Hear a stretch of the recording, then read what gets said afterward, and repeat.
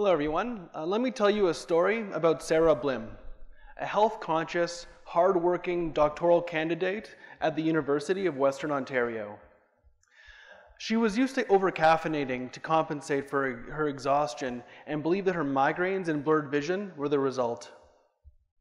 About a month out from her thesis uh, presentation, her dissertation, she was hurrying from a vegan coffee shop to her lab when she was clipped by a cyclist and hospitalized.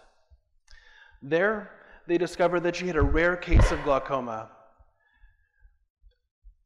So that's optic nerve damage, resulting in severe vision loss in her left eye. What was she to do?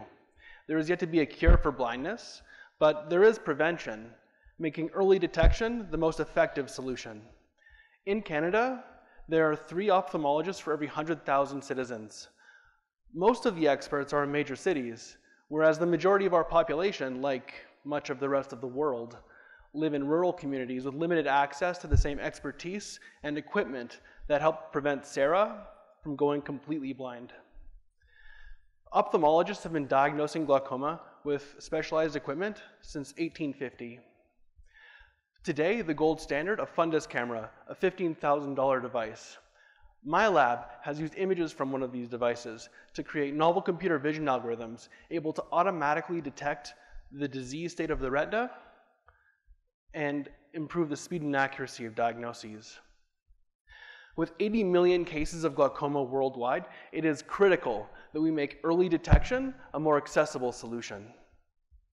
My work uses machine learning and computer vision to enable the use of smartphones and telemedicine in place of today's technology.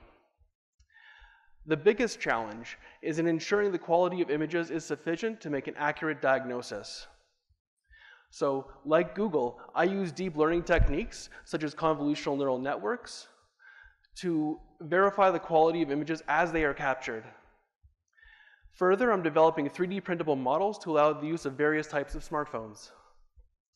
This work will result in millions of people gaining access to mobile diagnostic tools, as well as remote experts, thus enabling the prevention and treatment of blindness, as well as other chronic conditions beyond glaucoma.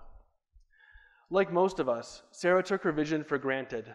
Vision is a privilege, and blindness is a curse. The goal of my research and my work thus far is to protect those at risk of losing their sight. A goal of my lab is to bring this technology to the developing world. Thank you.